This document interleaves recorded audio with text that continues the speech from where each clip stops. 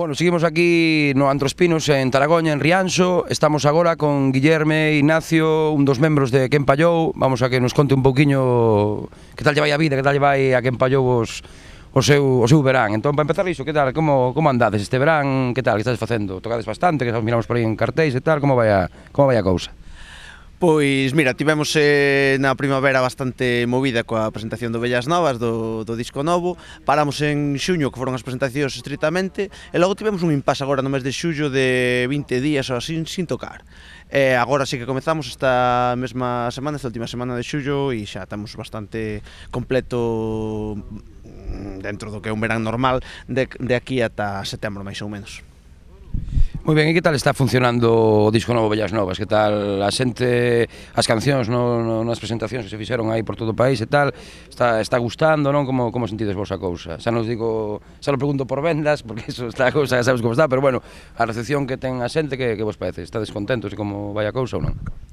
Pois mira, aquí co Bellas Novas o que estamos facendo un pouco é, é consolidar o proxecto, digamos, novo de que empallou en formato quinteto, e, e bueno, eh, a xente que nos coñecía de antes e tal, pois eh, ve o lado positivo de que mantemos a liña, somos capaces de soster o, o que é a, a dinámica e a, e o, a traxectoria do, do grupo a nivel artístico e en xeral, E, e a xente que non nos coñecía moito de antes, pois eh, eu penso que, que lles gusta, non? Inda neste último concerto que tivemos en Lugo, pois nos comentaban que, que para ser cinco que facíamos un, un barullo de carallo.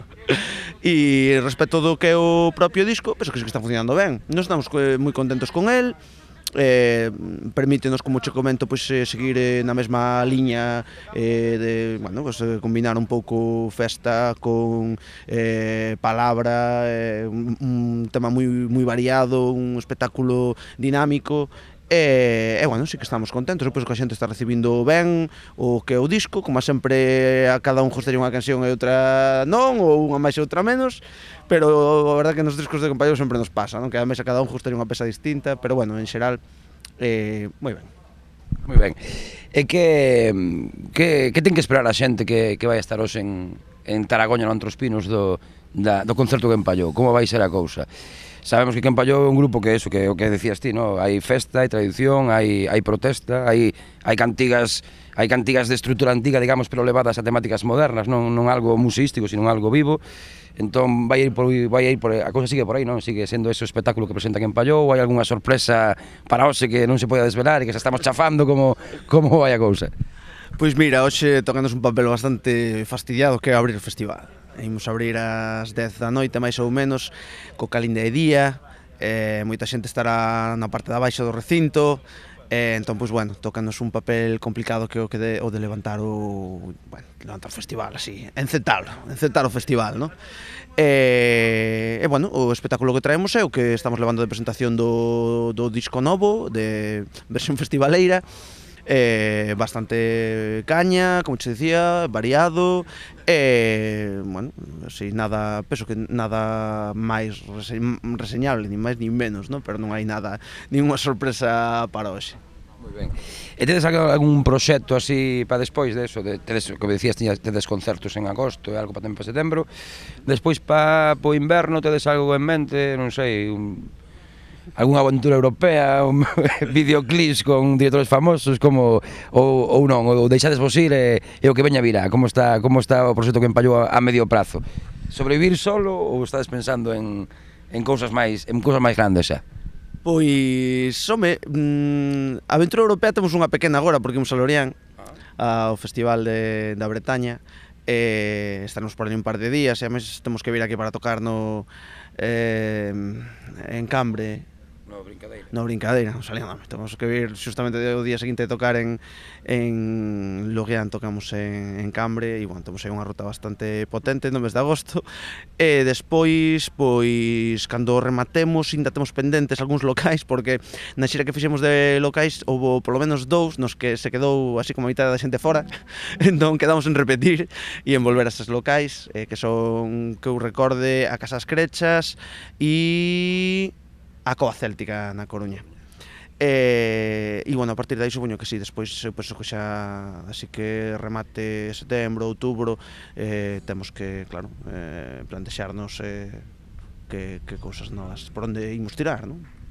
Moi ben. E, e que ten que empallou que, que ven o Antros Pinos, que é un festival que tira rock, que vai a Brincadeira, que así que é un festival totalmente rock, porque porque sempre que empallou o grupo, non sempre, porque porque dos máis escollidos entre entre a música folk para para para completar cartéis de, de rock ou de festivais que non onde non entra o folk. Que, que por que pensades que vos chaman? Pola festa que tedes ou cal pode ser a conexión que faga que que empallou guste non só a xente que tira que lle gusta a música tradicional, sino tamén a un público máis máis variado. Que, que, por que? Por que gustades, Guillerme? Que Ya pronto me complicada, Daniel. Eh, eu penso que primeiro habría que preguntarlle aos programadores. Eso, eh, son eles que che van contestar ben. Eu podo ter varias suposicións, varias teorías, entre elas, pois, eh, lóxicamente, que somos un grupo animado, que damos festa, un pouco igual o que busca alguén que programa rock, claro. eh, música pois, moi movida e eh, bailable, fundamentalmente. Nós tamén facemos música movida e bailable, maioritariamente, non? A parte de variada, e, bueno, é algo que sempre defendimos, non está reñido en absoluto traballar coa tradición, tradición, con facer música festeira, porque realmente a música tenda sempre foi festeira, non? E, a verdad, non sei por que, por que máis pode, pode ser.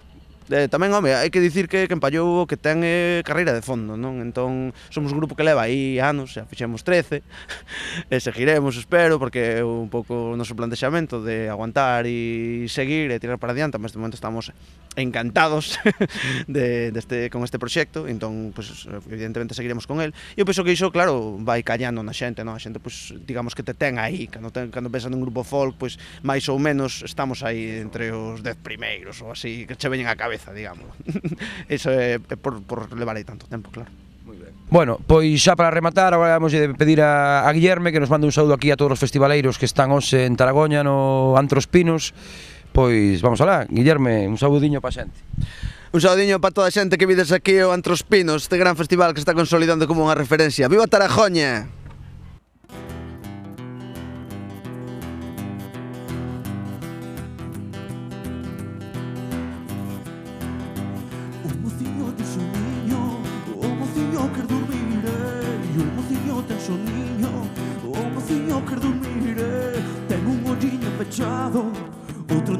pode abrir Ten un olliño pechado O outro non o pode abrir Soniño sono, vente máis tollo Pouquinho a pouco, vente máis toutro Soniño sono, vente máis tollo Pouquinho a pouco, vente máis toutro Coitadinho do mociño Coitadinho como chora Coitadinho do mociño Coitadinho como chora Come un allillo verde pode botar fora Comeu un alliño verde Non o pode botar fora Soninho só non vende máis dois Pouquinho a pouco vente máis doutro Soninho só non vende máis dois Pouquinho a pouco vente máis doutro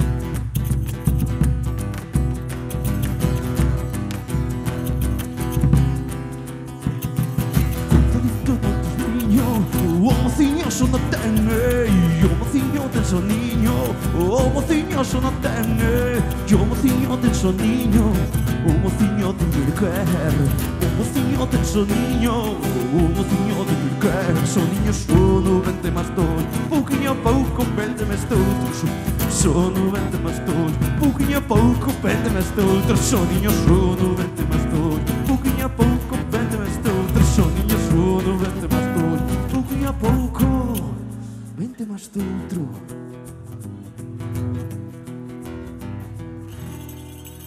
dormir.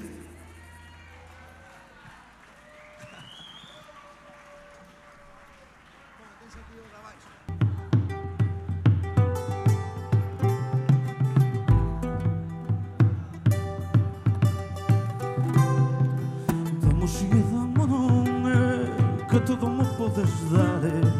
Vamos de me querer.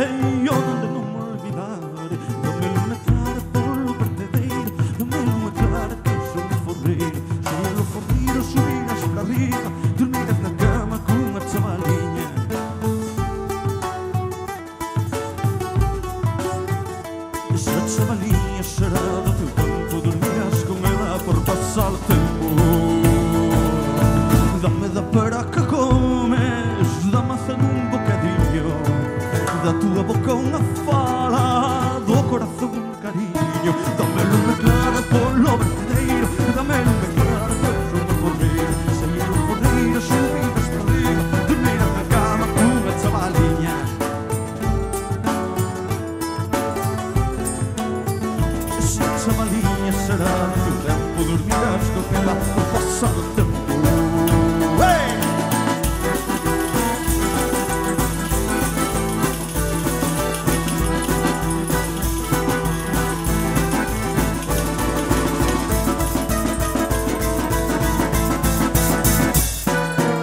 مدركم مدركم مدركم querida مدركم mi ore tristuna por alegría dame la cara por lo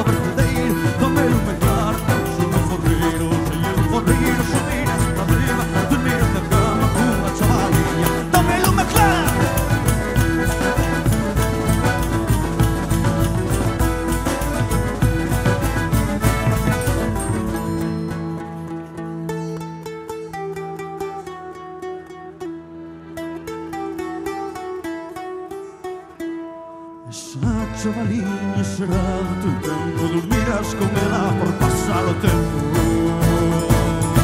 Que me deran tarajoña E aunque foran no camiño Que me deran malas linguas